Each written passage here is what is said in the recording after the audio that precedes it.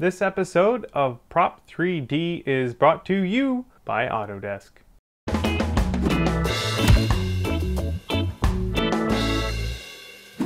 Hello everybody, welcome to Prop 3D, your guide to 3D printing for prop making and cosplay.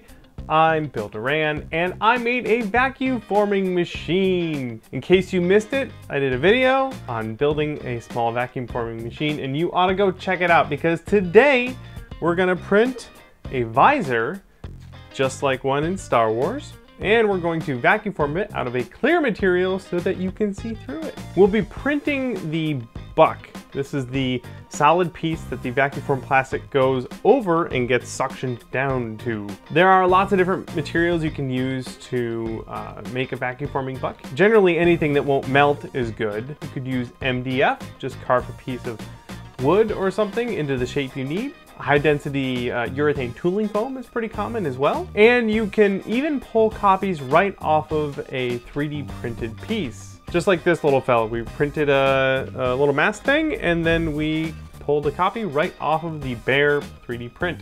The downside is the texture from the 3D print goes straight into the back of the plastic, making it hard to pull off of the master. Also, you may not want that texture, especially if it's going to be clear. Now, of course, we're gonna show you how to model and 3D print your vacuum forming buck, but you could do it from any other material with any other type of sculpting We'll just be showing you how to turn that sculpted piece into a good vacuum forming buck. Now, on with the visor. Of course, I modeled mine using 123D Design. There's a link to the full modeling video down below, but here's the quick rundown. First, I scaled the visor so that it was small enough to fit inside of my vacuum forming area uh, with a little bit of space around it so that the frame could fit over it. Then I drew the profile shape of half of the visor and I duplicated that shape and flared it out a bit at the bottom so that the vacuum forming buck would be tapered a little bit to make it easier to pull the plastic off. Then I was able to create a loft between those two shapes, creating the main bulk of our visor body.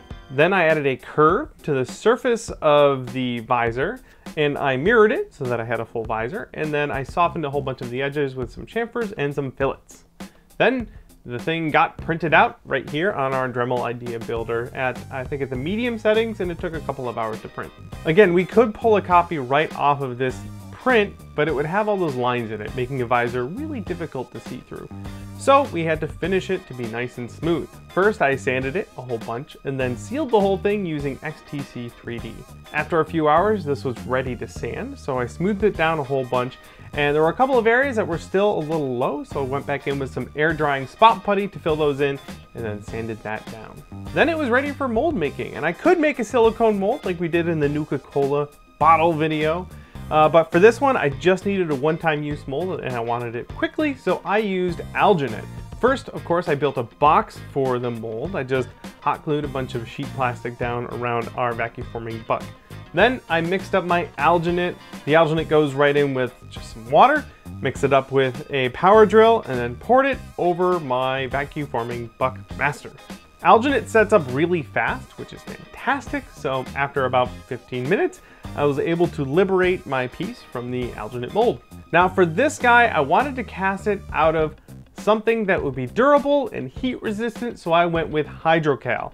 It's a lot like plaster, and it is a very common material for making vacuum forming bucks. So I got a bucket of water and I started putting in handfuls of hydrocal. You don't want to mix it up right away. You want to just sort of let the water take as much of the hydrocal as it wants to. So you keep putting handfuls in until the hydrocal sort of uh, gets caked up on the surface of the water. Then you can mix it using your hand, uh, making sure that you get any lumps, squeeze them, squeeze them out, mix it up a whole bunch until it has the consistency of a milkshake. Then the hydrocal gets dumped into your alginate mold and allowed to sit until it is rock solid.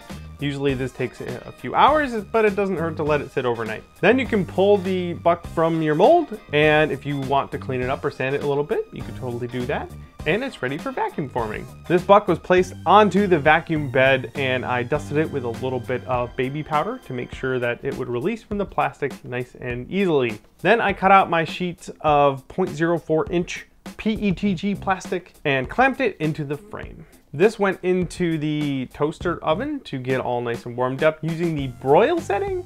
I found that the toast setting was actually a little aggressive, so I went with broil. And then once the plastic was nice and droopy and ready to go, I turned on the vacuum, pulled the plastic and the frame out of the toaster oven with some gloves, and then pressed it over the vacuum forming buck, letting the vacuum suction the plastic right over it forming a perfect copy of our visor. When the plastic was nice and cool, I could trim it away from all that excess plastic. And the buck was designed to have a lot of extra material. So that all got trimmed away using some uh, tin snips and cleaned up using a rotary tool.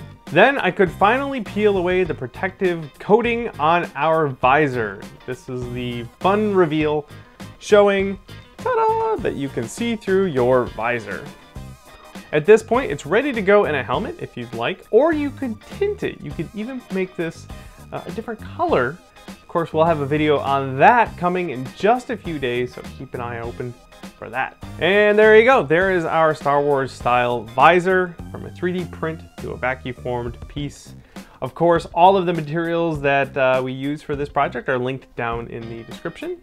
Be sure to check out the rest of our Prop 3D videos. They showcase a whole bunch of different ways to finish your 3D printed pieces.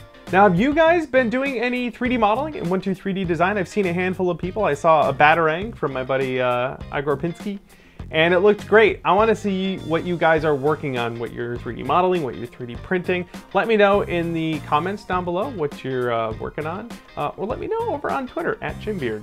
Thanks for watching the video, you guys, and until next time, happy printing.